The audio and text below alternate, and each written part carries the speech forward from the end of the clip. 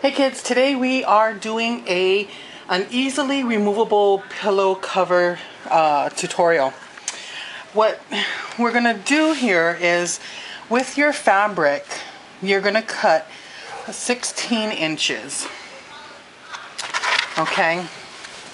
And once you have your, your 16 inches, you're going to have, uh, it's like a 45 inch you should be able to get from the rest of that, you know, it's still at the 16 inches long, 12 inches and 12 inches. So just cut them. You'll have one piece that is 16 by 16 and two pieces that are 16 by 12 inches.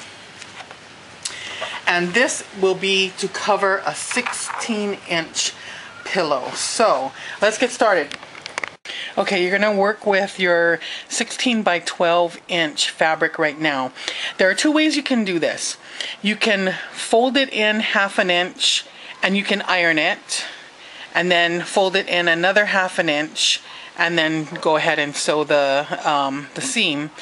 Something that I like to do because sometimes ironing doesn't make it exactly a half an inch.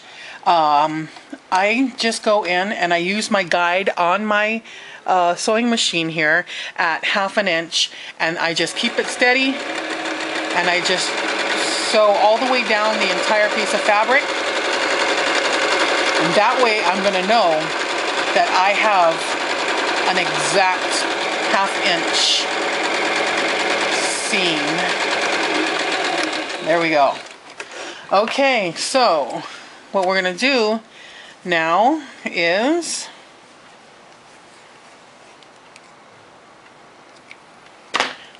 fold it right where that seam is. Since you have a totally exact one. And then you're going to fold it in. Let's see. You away. Here we go. So you fold it in at half an inch and you're going to fold it once more over. Right there. And pin it all the way down. And sew a seam all the way down, closing this. And then you're going to repeat it on the other um, 16 by 12 inch piece, but you're going to make it, you're going to do the seam on the opposite side. So let me show you. Whoops, hang on. Okay, so this will be sewn this way. Here, let me let me just finish this off for you.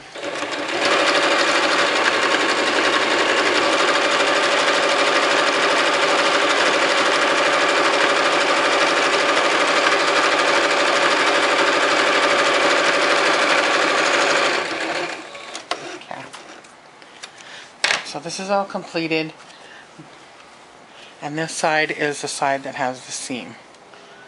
So when you go ahead and you do this, the other 6 by 16 by 12 you're going to want to do it on this side so that the finished seams are going to be facing you know facing one another okay? All right let me go finish this up. See, kitty she got to be by me all the time. Okay um hang on let me see if I can't get you a little bit more centered. Okay there we go. This is probably the easiest tutorial ever now you put that piece on there, line up all the sides, pin all the way around the sides. Then you get your second side and you line it up. I like to pin this piece down right there. Then you get this piece and it's going to overlap there. See it? Alright. Go ahead and pin around the entire thing. Once you have it all pinned up, go ahead and sew all the way around because um, you have this opening here there's no need to leave an opening for turning. So, let me finish up pinning and sewing. Uh, the seam allowances for this is you um, you use the end of your uh, sewing foot as your guide, which should be about a quarter of an inch, I believe. And let me go finish this up. I'll be right back.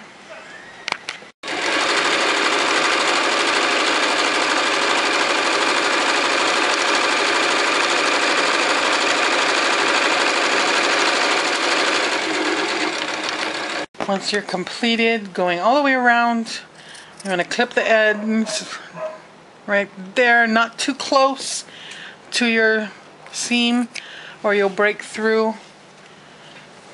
You want to make sure that you can get a nice um, tight corner when you turn it inside out, but you don't want to have issues. So then you just turn it inside out and insert your pillow form. You can go ahead and poke this out. Um, you can use a, a needle to pull it out nice and straight. I like to use my scissor, but I go very, very carefully.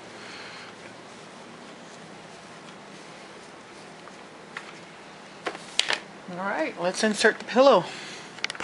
I know it's not the same fabric, but there you go.